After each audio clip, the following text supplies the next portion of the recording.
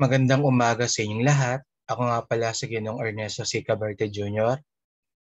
Ito yung ating unang pagtalakay sa asignaturang KPWKP, Komunikasyon at Panaligsik sa Wika at Kulturang Pilipino. Simulan na natin ang ating pagtalakay. Nabatay sa paksang, kahulugan at kabuluhan ng wika.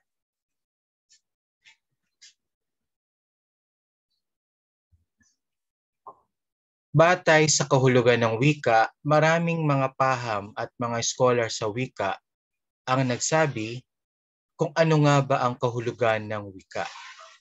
Ayon kay Gleason noong 1961, ang wika ay masistemang balangkas ng sinasalitang tunog na pinilit sinaayos sa paraang arbitraryo upang magamit sa pagkipagtalistasan ng mga taong nasa isang kultura. Dito pa lang sa kahulugan ni Henry Gleason ay masabi na natin ang katangian ng wika. Masistemang balangkas dahil ang wika natin ay may mga sinusundan na kayarian ng pangungusap. Meron tayong kananiwan at di kananiwang ayos. Meron tayong kayarian ng pangungusap, uh, pangungusap tulad ng payak, tambalan, hugnayan at langkapan. At para naman sa sinasalitang tunog, ang ating wika ay merong sistema ng pagsasalita. Ito ay binubuo ng makabuluhang tunog o tinatawag nating kiponema. Ang pag-aaral sa pinakamahalagang tunog or pinakamakabuluhang tunog ay tinatawag namang ponolohiya.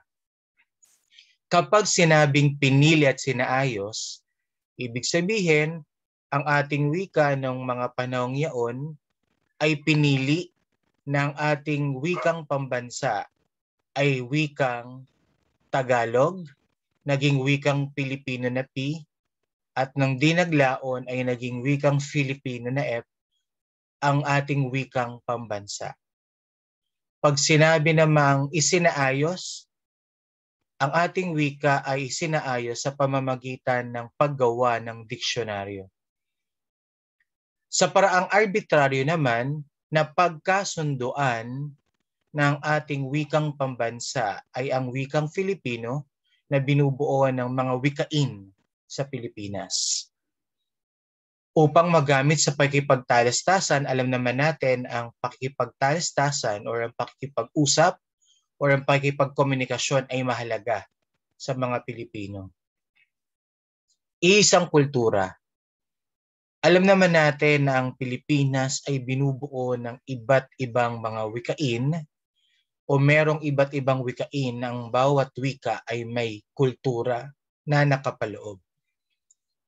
Ayon naman kay Pinasyaro noong 1964, ang wika ay sistemang arbitraryo ng simbolong pasalita na nagbibigay pahintulot sa mga taong may kultura o na mga taong natututuhan ang mga ganong kultura upang makipagtalastasan o di kaya makipag-ugnayan. Ibig sabihin lang mang nito na ang wika ay sistema ng arbitraryo o or napagkasunduan ng ng mga simbolong pasalita.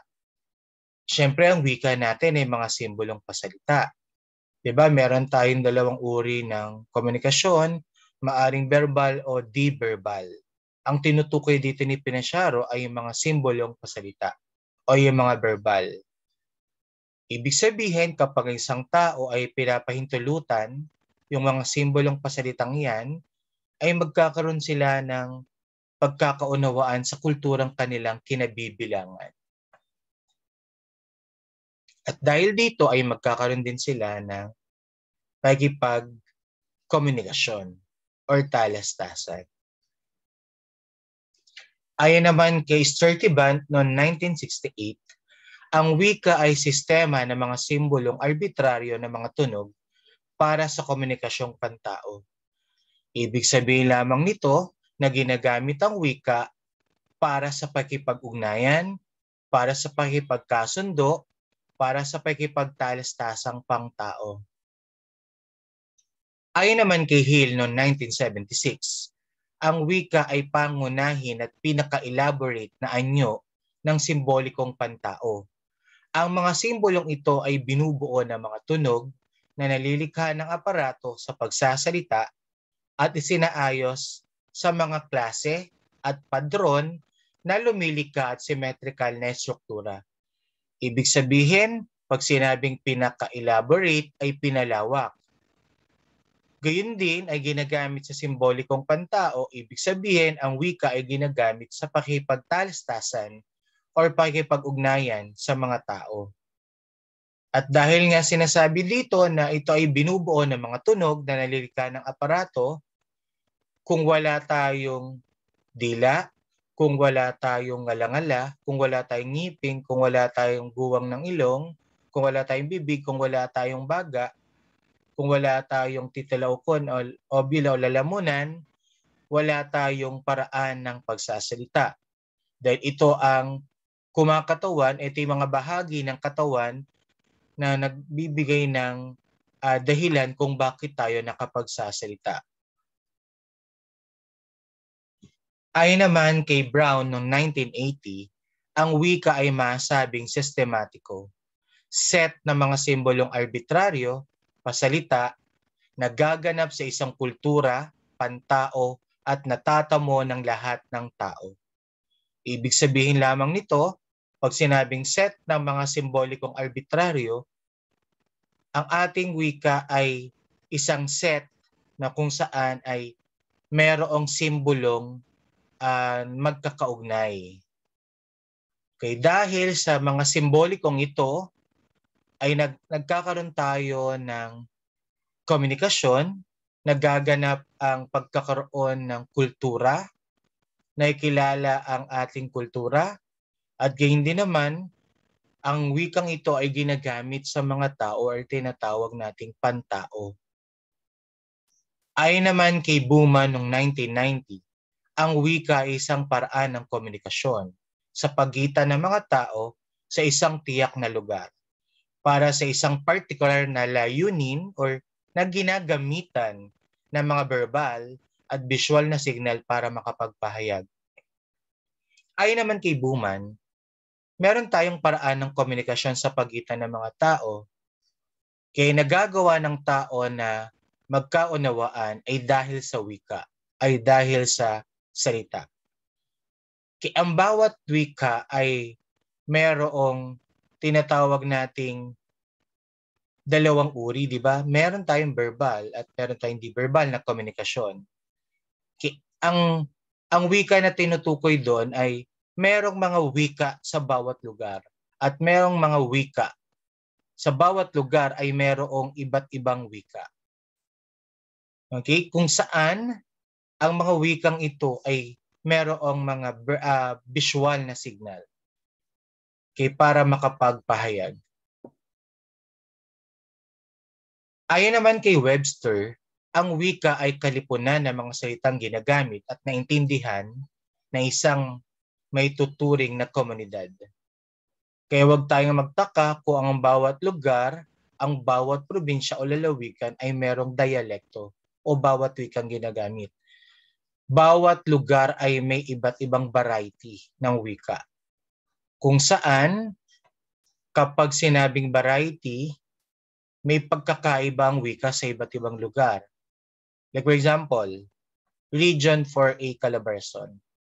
Merong wikang Tagalog sa Laguna, Tagalog sa Cavite, Tagalog Batangas, Tagalog Rizal.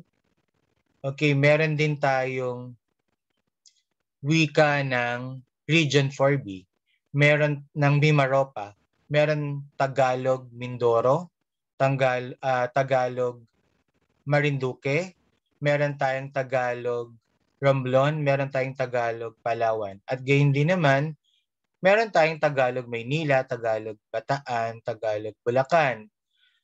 Parehas man na Tagalog ay may pagkakaiba sa variety. Ibig sabihin, may mga salita na kung saan sa kanilang lugar lamang nakakaalam. May mga kahul o may mga salita na may iba't ibang kahulugan sa iba't ibang lugar na nabanggit. Okay, alam kong alam niya yung mga salitang ito at bibigyan ng kahulugan. Halimbawa na lamang ang Lodi. Ang Lodi ay pinagbaliktad lamang na ibig sabihin ay idol na iniidolo or hinahangaan. Okay?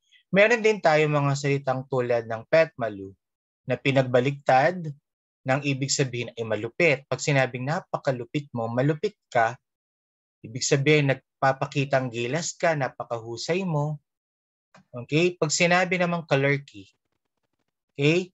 Ang kalerky ay ibig sabihin ay kaloka o nakakaloka ka. Okay?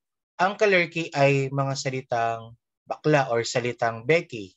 Becky words or gay lingo. Samantalang yung Lodi at Petmalu ay pinauso. Okay, pinauso ng mga millennial. Yung mga binabaliktad ng mga salita. Okay, yung tsaka naman, pag sinabing tsaka ay salitang baklari na ibig sabihin ay pangit. Yung walay, salitang balbal din na ibig sabihin ay wala.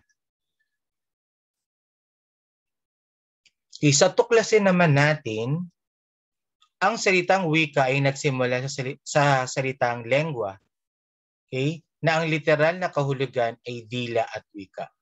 Maraming kahulugan at kabuluhan ng wika tulad ng ito ay behikulo ng pagpapahatid ng mga impormasyon sa amang lugar ka naroon, sa paaralan, tahanan o kahit saan. Instrumento rin ito ng komunikasyon. Sa pamamagitan din ng wika, mabilis na inipapalaganap ang kultura ng bawat pangkat. Higit sa lahat, simbolo ito ng kalayaan. Sa kabilang dako, nagkaroon ng ibang kahulugan at kabuluhan ng wika sa wikang pambansa, wikang opisyal, at wikang panturo. Wikang panturo at wikang opisyal. Ang wikang panturo at wikang opisyal ay nagkakatulad ng baybay, ngunit magkaiba ito ng kahulugan at kahalagahan. Nakapaloob sa Konstitusyon 1987 ng Republika ng Pilipinas, ang Filipino bilang wikang pambansa o opisyal na wika. Ang dating wikang Tagalog na napalitan ng Filipino ay patunay lang na patuloy na umuunlad ang ating bansa, lalo na ang ating bokabularyo o talasalitaan. Bukod sa wikang opisyal, tinatawag din itong pambansang lingua franca dahil ito ang ginagamit ng magkausap kapag magkaiba ang kanilang katutubong wika. Sa larangan naman ng formal na edukasyon, Pilipino ang wikang panturo sa mga paaralan sa iba't ibang asignatura gaya ng Pilipino, Araling Panlipunan, Edukasyon sa Pagpapahalaga, at maging sa MAPE at TLE ay sinasalita rin nila ng Pilipino. Layunin nito na mapabilis ang pagkatuto ng mga mag-aaral at maiangat ang antas ng ating mga kababayan. Maraming salamat sa inyong pakikinig.